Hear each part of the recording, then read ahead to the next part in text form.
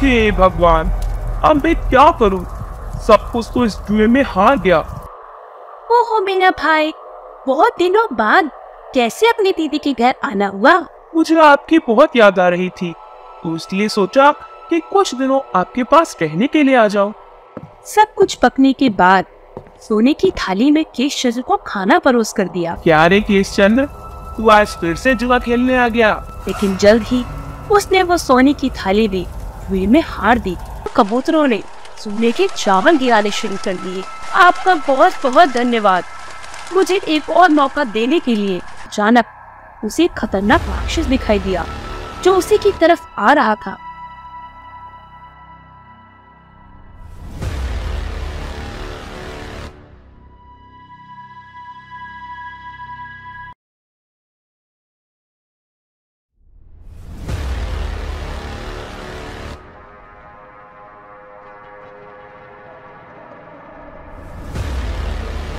हे भगवान, वो आता हुआ राक्षस तो इंसानों को खाने वाला राक्षस जैसा दिखाई दे रहा है।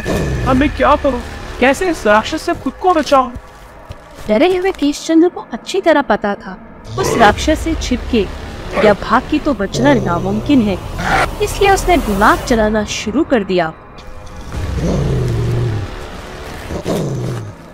जब वो राक्षस केशचंद्र के सामने पहुँचा तो केशचंद्र ने डरते हुए राक्षस के आक्रमण करने से पहले ही उससे कहा नमस्कार मामा कैसे हो आप? मामा कौन मामा? किसका मामा? केशचंद्र ने भी कंफ्यूज होने का नाटक करते हुए पूछा आपका नाम क्या है बताना तो। मेरा नाम गुरु मापा है। मैं एक इंसान का मांस खाने वाला राक्षस हूँ। और अब मैं तुझे खाऊँगा। मामा ये आप क्या कह रहे हो? अपने भांजे को भी कोई खाता है क्या? माँ कहा करती थी कि इस जंगल में गुरुमापा नाम का राक्षस रहता है और वो राक्षस मेरा मामा है बताया था। गुरु माता कंफ्यूज होकर सोचने लगा ये इंसान कौन है जो उसे अपना मामा बुला रहा है? तभी केश चंद्र ने एक ऐसा प्रस्ताव रख दिया। मामा मैं तो आपको याद करके हमारे घर में अतिथि बनाने के लिए लेने आया था। यदि आप चलने को मान जाएँगे तो आपके लिए रोज दाल चावल और कई सारे पकवान के साथ भैंस का मांस होगा और कभी भी आपको भूखा नहीं रहना होगा। लेकिन एक समस्या है। केश चंद्र की बात सुनकर गुरु माता खुश होते हुए कहने लगा समस्या? कैसी समस्या? ये सामान मैं उठाकर यहाँ तक तो लेकर आ गया, लेकिन अब मैं बहुत थक गया हूँ और आपको यहाँ से सामान घर तक लेकर जाना होगा। गुरु माता ने ठीक है कहा और अब वो लोग जंगल से जाने लगे।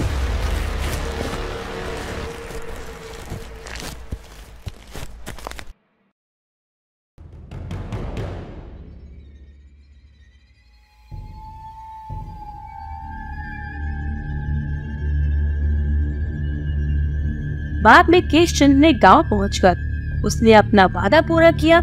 गुरु बाबा को खिलाने के लिए पेट भरकर खाना दिया और साथ ही उसे रहने के लिए घर में एक कमरा भी दिया जिसे वो राक्षस भी बहुत खुश हुआ।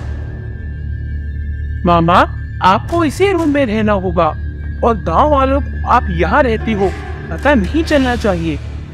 ठीक है।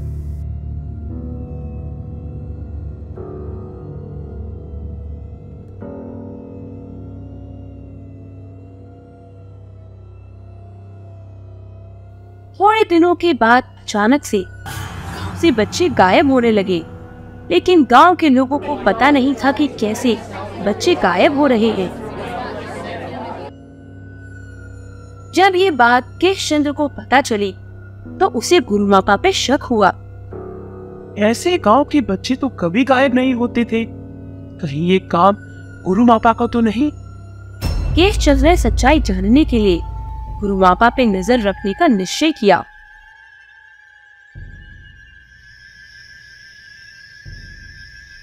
एक मध्य रात, जब केश चंद्र सो रहा था, उसे गुरु मापा के कमरे से कुछ सुनाई दिया, जैसे कि किसी ने दरवाज़ा खोलकर बंद कर लिया हो।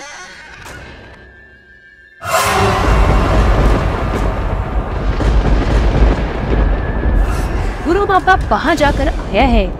सोचकर केश चंद्र गुरु मापा के कमरे की तरफ़ गया। दरवाज़ा बंद था तो दरवाजे के छेद से केश चंद्र अंदर देखने लगा। अंदर जो होते हुए केश चंद्र को दिखाई दिया, वो देखकर केश चंद्र एकदम से डर गया।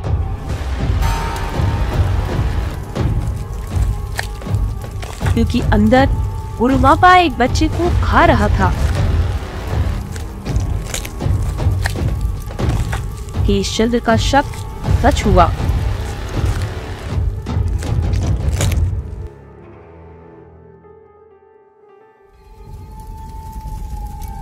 अगले दिन केश चंद्र ने ये बात अपने गाँव वालों को बताई और गाँव वालों को अच्छी तरह से पता था कि गुरुमापा से किसी भी हाल में लड़कर जीता नहीं जा सकता है और ना ही गाँव का कोई आदमी उसे मार सकता है।